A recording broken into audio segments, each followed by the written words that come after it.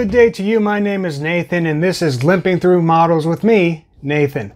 I have with me today an HO scale barn that I'm going to be building for the next couple of weeks. I'm going to be painting, staining, and painting through the entire process. So if you want to follow along, come along and let's get started. I employ a simple philosophy when selecting a model to build. If I think to myself, that looks like it'll be fun to build, I buy it. And this barn was no exception. Now this barn is different from other structure kits that I've come across in that it doesn't put an emphasis on bracing walls and putting walls together and making sure everything is square. It actually builds like an actual building. You start out with a frame that you build up and then on top of that frame you put your walls. On top of your walls you put your windows and your trim.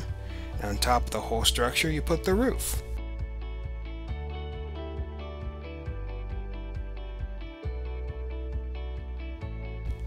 I make an effort to gather all the components of the frame uh, first because that's what the instructions call for. Now we have four essential components of the frame uh, within this kit. The first of which are two sections that run the whole length of the barn that serve as both the fronts of all the stalls internal to the barn and also the central area where all of the other rafter pieces attach to. The second is a couple of pieces that serve as the separators for the stalls in the barn itself and also the first parts of the rafters that support the whole roof structure. After that you have some rafter pieces that only serve to support the roof structure and don't go all the way down to the floor of the model.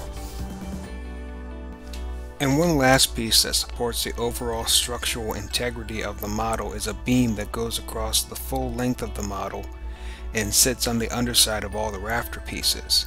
It helps to keep those pieces evenly spaced so that when it comes time to put a roof piece on top of the rafters, you have a nice flat surface for that roof to sit on.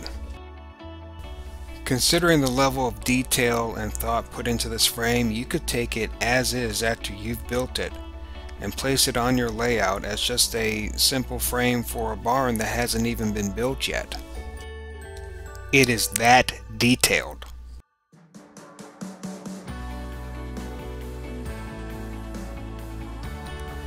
After cleaning up most of the edges of the pieces of the frame, it's time to now stain the overall frame. Now, what I'm going to be using for this is a product called Age-It, which is from Micro-Mark. And I've used it on a bunch of my wooden models, and it works really well. There's minimal warping uh, involved with using this product, which I think is great. And considering how I wanted this to be a much older looking barn, the color that this Age-It puts out uh, really complements that idea that I have in my mind. When using the Age-It, it's important to note that a little bit goes a long ways. The container I'm using here I purchased a, over a year ago and I've only used about a fourth of the total liquid.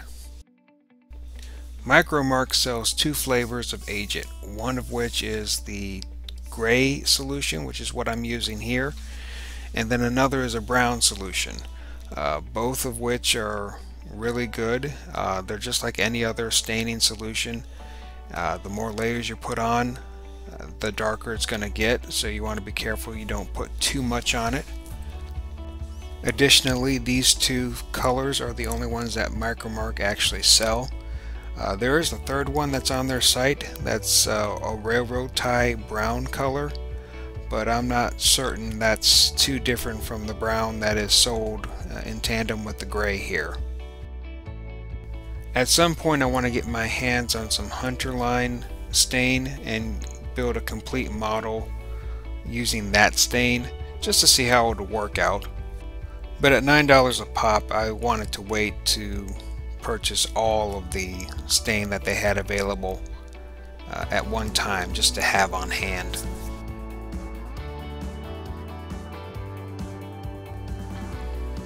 One important thing to do when you're working with any stain is to make sure that you get both sides of the wood so as to minimize the warping.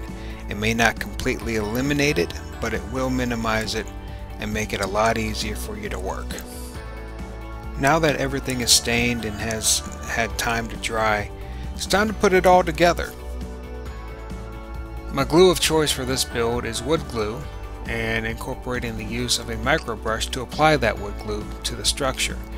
It gives me a lot more control than the nozzle that comes with that bottle would ever give me and plus I can put small amounts of glue and just kind of build up till I have enough glue on the actual model to affix everything together.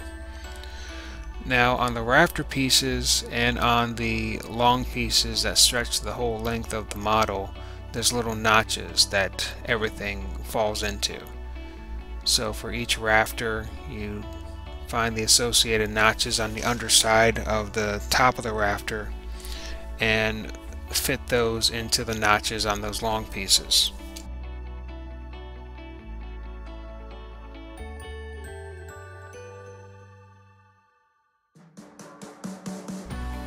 The instructions have you start with putting the support pieces on the front and rear of the, the barn followed by the center pieces that serve as the separation uh, between all the stalls and then finally the actual rafter only pieces that go in between all those stall separations.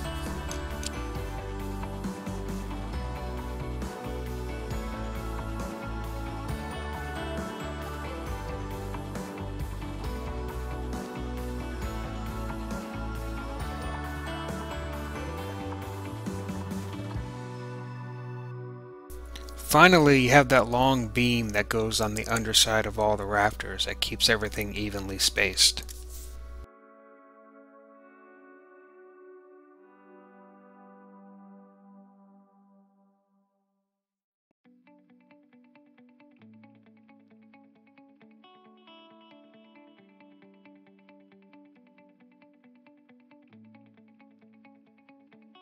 After I got the beam where I needed it to be, it was now time to find a creative way to hold that beam in place while it uh, cures a little bit. One thing I quickly realized as I went into this project is that I had an insufficient amount of clamps that helped me aid in putting everything together and keeping everything together while it dries. And that seems to be a running theme for this whole model because there's a lot of reliance on, you know, pieces being flat and with some of the warping that happens that's hard to do. So here I am trying to wiggle my fingers into the underside where I can put pressure on the beam in the right place to uh, have it cure.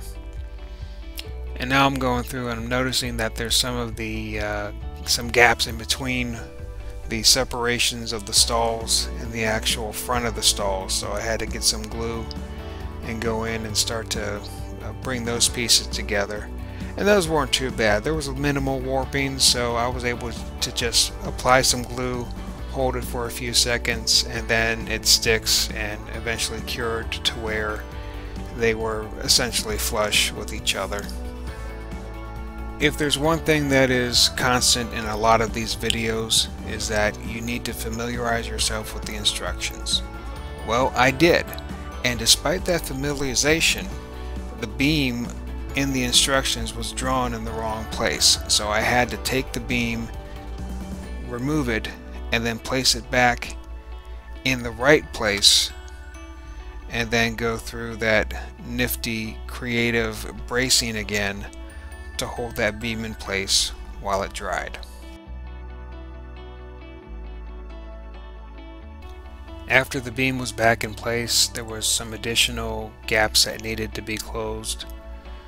So I'm going through and taking that frame and button it up against that centerpiece to make sure everything is nice and flush.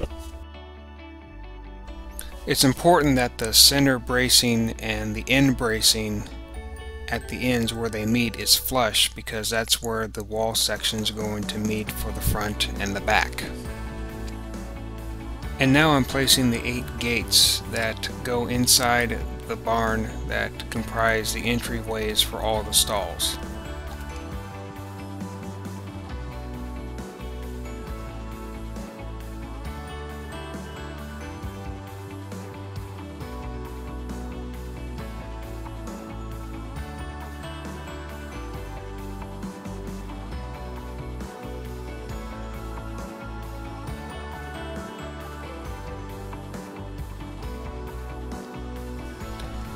And now I have a built and aged barn frame ready for walls, ready for the roof, ready for windows, and ready for everything else that's going to make this a fantastic barn.